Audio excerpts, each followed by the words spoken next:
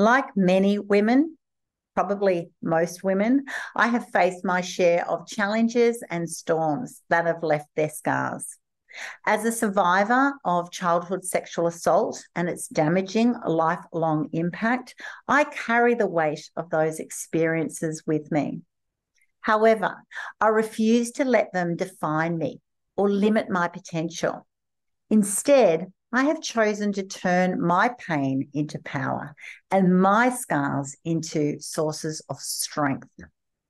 Through my journey of healing and self discovery, I have learnt the importance of self compassion and forgiveness. It wasn't easy, let me tell you, but I have found the courage to confront my past, to process the trauma, and to release the burden of shame that was never mine to bear collaborating with the other heart warriors, my heart warrior sisters, became a cathartic way to share powerful stories with the world and to connect with other women who might be carrying their own hidden wounds. It's a testament to the resilience of the human spirit and the capacity to rise above even the darkest of experiences.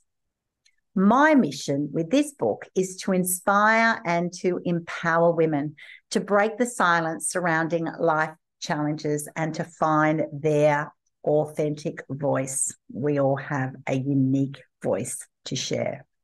I want to create a safe space to for open dialogue and foster a community of support where survivors can heal together and lift one another up to all the women out there who have endured similar traumas, I want you to know that you are not alone and your worth is not determined by the actions of other people. These scars have become my badges of courage, reminding me of my ability to overcome any obstacle that comes my way. And they shape me into the woman I am today. And I want every woman to know that their scars are not weaknesses, but actually powerful symbols of strength